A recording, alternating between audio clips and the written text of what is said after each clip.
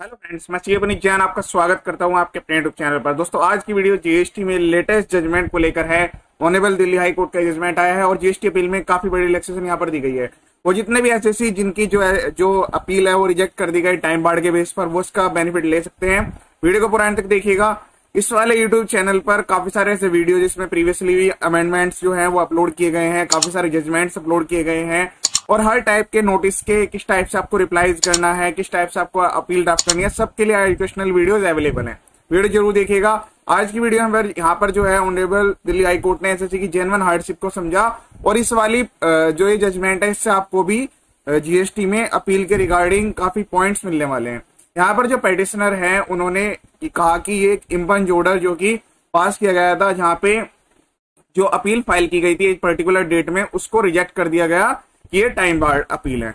पेडिशनर ने कहा कि उन्होंने एक एप्लीकेशन फ़ाइल की थी रिफंड के लिए pursuant the said application petitioner was issued show cause notice तो इसके रिगार्डिंग जब उन्होंने एप्लीकेशन फ़ाइल की तो उसके रिगार्डिंग उनको जो है सोकोज नोटिस आया। देखिए, यहाँ पर जो ये पॉइंट है, इसमें जो इशू इन्वॉल्व है, वो अपील के टाइम बार्ड को लेकर है। ना कि ये कि यहाँ पर जो है रिफंड के लिए एप्लीकेशन फ़ाइल की गई थी।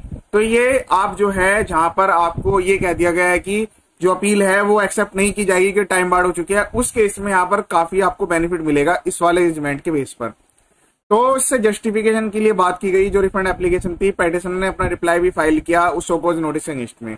उसके बाद जो ए सी है जीएसटी असिस्टेंट कमिश्नर उन्होंने एक ऑर्डर पास किया जिसमें उन्होंने जो है रिफंड अलाउ कर दिया पार्सली रिफंड अलाउ कर दिया और बाकी का जो है वो रिफंड जो है वो रिजेक्ट कर दिया। पेडिशनर ने उसके रिगार्डिंग जो है अपील फ़ाइल की, लेकिन अपील को रिजेक्ट कर दिया गया क्योंकि ये कहा गया है कि ये टाइम बार्ड है। समझिएगा टाइम बार्ड का प्रोसेस कैसा आया? जो डिपार्टमेंट की तरफ़ से लर्न काउंसिल है, उन्होंने सबमिट किया कि उनको जो है इंस्ट्रक्शन जो रिसीव हुई है कि जो ऑनलाइन पोर्टल है, उस पर जो है इस फाइलिंग के नंबर में कोई भी ऑनलाइन जो है पोर्टल पर अपील शो नहीं कर रही है।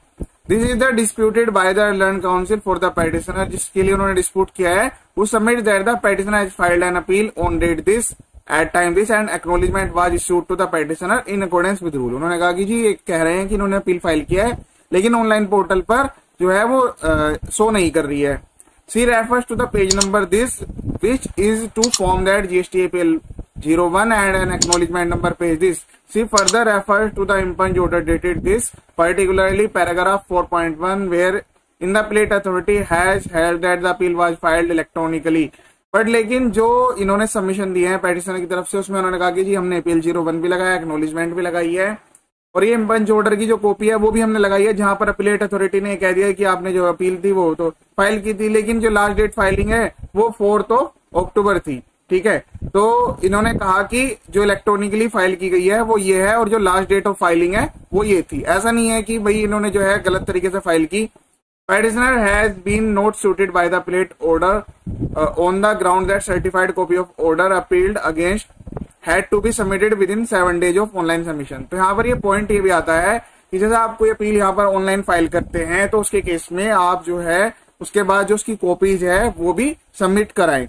And since the certified copy was not filed within one week of the online submission, the appeal was deemed to be barred by limitation. यहाँ पर जो पॉइंट आ रहा है, ये इस पॉइंट को लेकर आ रहा है कि इन्होंने जो हार्ड कॉपी है सर्टिफाइड कॉपी है जो ऑर्डर की of the order appealed against had to be submitted सात दिन के अंदर सबमिट हो जानी चाहिए, लेकिन वो इन्होंने बाद में जमा की। इसलिए यहाँ पर टाइम बार्ड का पॉइंट आया। Learned counsel for the petition submit that the original order was filed along with online submission उन्होंने कहा कि जी, हमने ओरिजिनल जो ऑर्डर था, उसको ऑनलाइन सबमिशन के साथ जमा कर दिया था।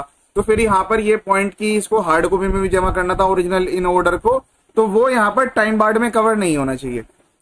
This court has directed the respondent on to produce the digital file उन्होंने कहा कि ठीक है, आप जीएसटी डिपार्टमेंट को यहाँ पर डायरेक्शन दी गई कि ठीक है, जो इन्होंने फ़ाइल की है अब वो आप हमें प्रोड्यूस करें जो डिजिटल फ़ाइल है, जो कि पेटिशन ने अपलोड की थी at the time of making of online submission जो डिपार्टमेंट की तरफ़ से काउंसिलर उन्होंने कहा कि जी ग्लिच पोर्टल पर ग्लिच की वजह से और जो कंस्ट्रक्शन मिली है जो डिजिटल डाटा है, वो अवेलेबल नहीं है।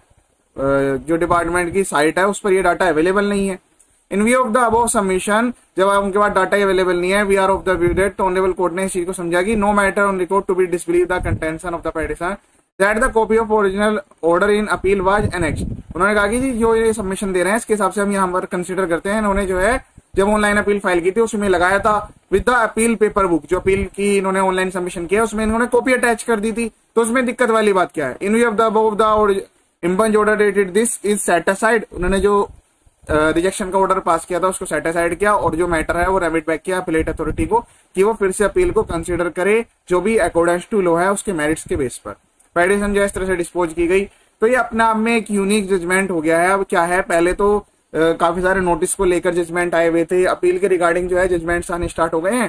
तो अगर आपकी अपील आप टाइम के अंदर में फ़ाइल नहीं करवाए मतलब 90 डेज़ के अंदर आपको फ़ाइल करनी होती है। उसके लिए ड्राफ्ट सब कुछ मेरे वीडियो के डिस्क्रिप्शन में अवेलेबल है। आप डाउनलोड कर सकते हैं टाइप का रिप्लाई ड्राफ्ट चैनल का जो है फुली एजुकेशनल है तो आप वीडियो को शेयर भी करें ताकि सब एजुकेट हो सके इसके रिगार्डिंग 90 डेज़ का टाइम होता है और एक महीने का यहाँ पर आपको एक्सटेंशन भी मिल जाता है। लेकिन उसके बाद भी अगर आपकी जेनवन हार्डशिप है और आप प्रूफ कर देते हैं एविडेंस लगा देते हैं तो आपकी अपील एक्सेप्ट की जाएगी। उसके लिए भी काफ़ी सारे जजमेंट्स ऑलरेडी आए हुए हैं। ये था लेटेस्ट जजमेंट इसी टाइप के काफ़ी सारे वीडियोज़ मेरे यूट्यूब चैनल पर अवेलेबल हैं। इसके अलावा इनकम टैक्स जीएसटी के बेसिक वीडियोस भी हैं फाइलिंग प्रोसेस रजिस्ट्रेशन के काफ़ी सारे वीडियोज़ हैं और जजमेंट के लिए तो अलग से प्लेलिस्ट बना दी गई है। रिप्लाई कैसे करना है जजमेंट्स के? आपको अलग अलग जजमेंट्स को किस तरह से प्रेजेंट करना है अपने रिप्लाईज में अपील में या रेक्टिफिकेशन भी एक प्रोसेस है। तो वहाँ पर भी आप वीडियो देख सकते हैं, आपको हंड्रेड परसेंट बेनिफिट होगा। ये वीडियो देखने के लिए थैंक यू सो मच